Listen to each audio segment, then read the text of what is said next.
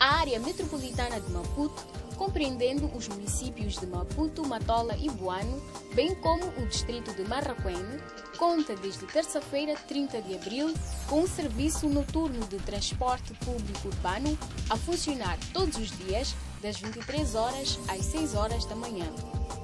Trata-se de um serviço introduzido com vista a responder ao desenvolvimento da cidade de Maputo, caracterizado pelo crescente número de empresas que funcionam em regime de turnos. A viagem custa 35 meticais por passageiro, independentemente da origem ou destino. O novo serviço é composto por 18 autocarros.